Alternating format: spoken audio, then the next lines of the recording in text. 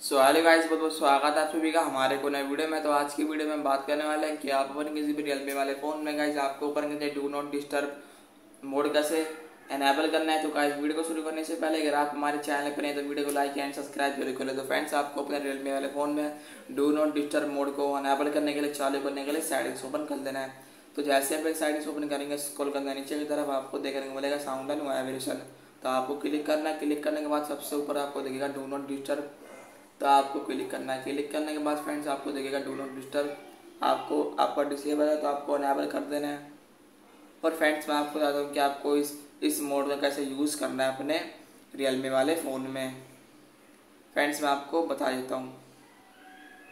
Friends जब जब भी, भी आप इस मोड को अनेबल कर दें तो फ्रेंड्स आपके फ़ोन में मून वाला आइकन दिख जाता है। और फ्रेंड्स आपके आप जो भी इम्पोर्टेंट काम करते हैं अपने फ़ोन में वीडियो एडिटिंग या कुछ भी करते हैं तो फ्रेंड्स आपकी, आपके फ़ोन में कॉलिंग की आवाज़ साउंड नहीं आने वाली, ना नोटिफिकेशन साउंड की आवाज़ नहीं आने वाली। तो फ्रेंड्स आपको कोई परेशान नहीं करने वाला। अगर ये वाला मोड पर करते हैं तो मैं मिलता हूँ नेक्स्ट वीडियो में। Bye bye guys